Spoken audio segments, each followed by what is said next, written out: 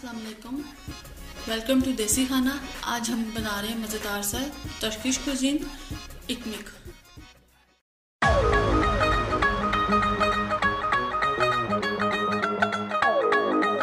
इसके लिए हमें चाहिए होगा मैदा, दो कप ईस्ट एक खाने का चम्मच।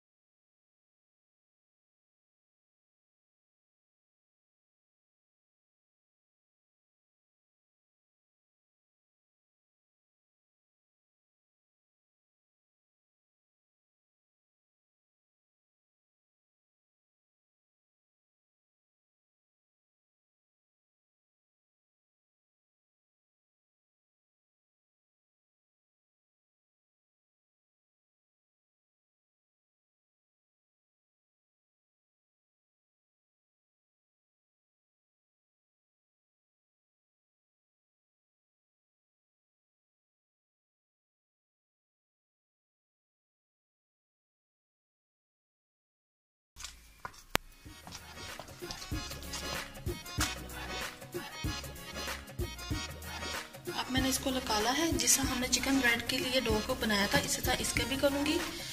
और दूध आपने इस तरह डालना है, जैसे हम आटा गूंदने के लिए यूज़ करते हैं। ज़्यादा नहीं आपने डालना, हाथ रोक रोक के डालना है। ब्रेड आपकी जो ये डो होगी, इसको आपने नरम ही गूंदना है, बहुत सख्त नहीं गूंदना।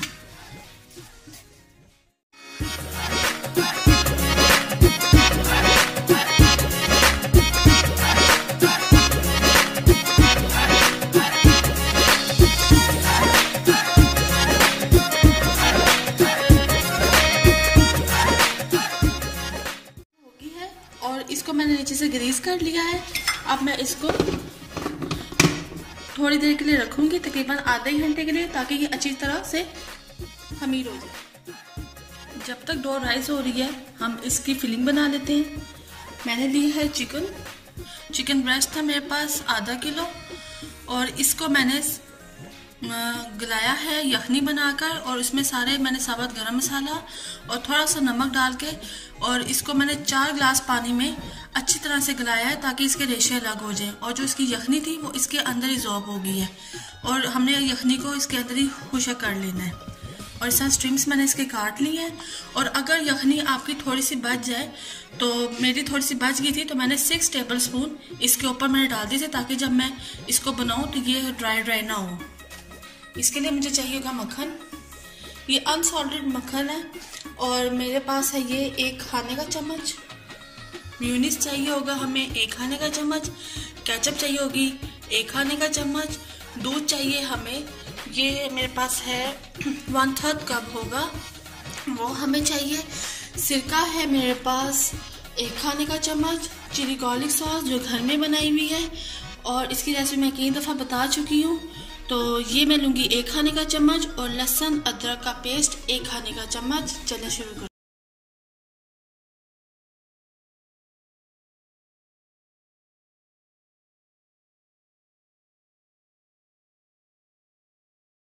बटर मेल्ट हो गया। अब मैं इसमें अदरक और लहसुन का पेस्ट डालूँगी। आपने ये लो फ्लेम से और मीडियम से कम में आपने बनाना है। इसको भून रहे होंगे लहसुन, अदरक को। तो आपने चम्मच हिलाते रहना क्योंकि बटर डाला है। अगर आप छोड़ेंगे तो बटर आपका जल जाएगा। अब मैंने इसको भून लिया है। अब मैं इसके अंदर चिकन ऐड करूँगी।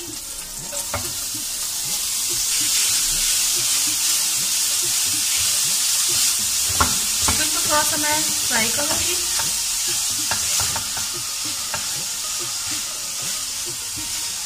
अब मैं ऐड करूँगी chilli garlic sauce soya sauce अब मैं केचप और म्यूनिस ऐड करूँगी।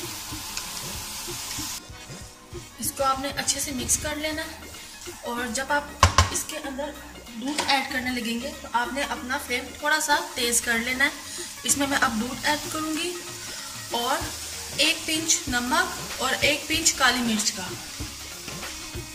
नमक, एक पिंच, काली मिर्च, एक पिंच।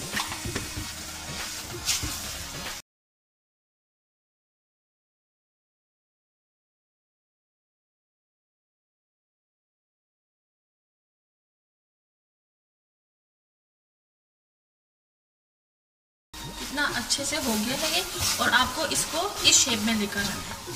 इसमें ज़रा सा भी नहीं है। जूसी ये देखें, एकदम से टेंडर हो गया है और आपने इस फॉर्म में लेके आना है। अब मैं चूल्हा बंद करती हूँ ताकि ज़रा ठंडा हो जाए।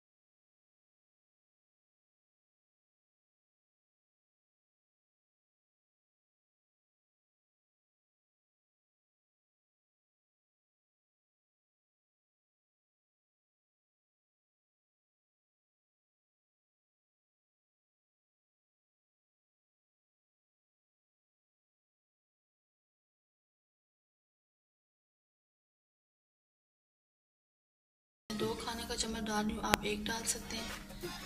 बटर डालें।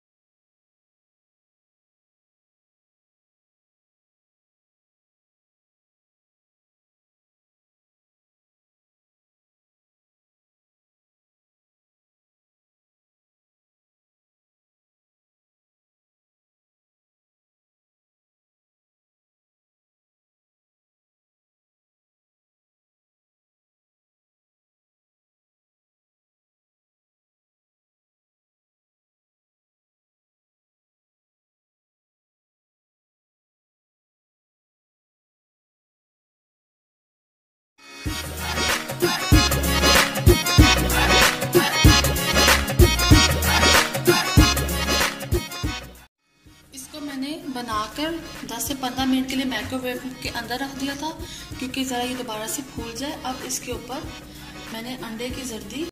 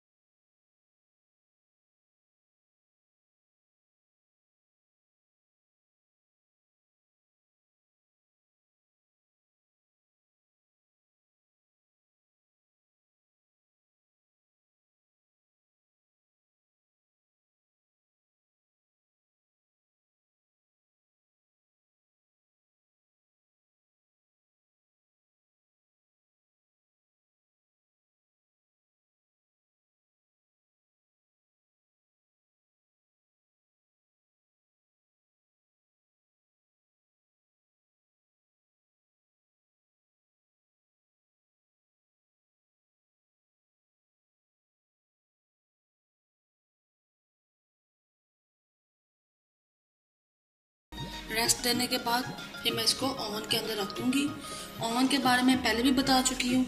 मेरा ओवन गैस का है टू एटी पे जाता है। इलेक्ट्रिक आपका वन एटी पे जाता है। कोई वन थर्टी पे भी जाता है इलेक्ट्रिक तो आप अपने ओवन को खुद रीड करना और अपने ओवन को देख के आप इसको ओवन में रख देना।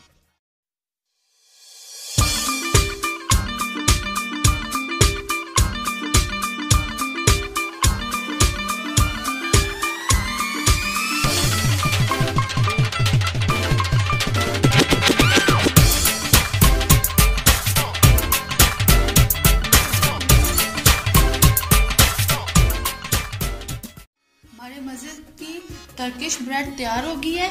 अगर आपको मेरी रेसिपी अच्छी लगी है तो प्लीज़ मेरे चैनल को लाइक करना शेयर करना और कमेंट करना ना भूलना। अपना अपनी फैमिली का बहुत ख्याल रखना। अल्लाह हाफिज़।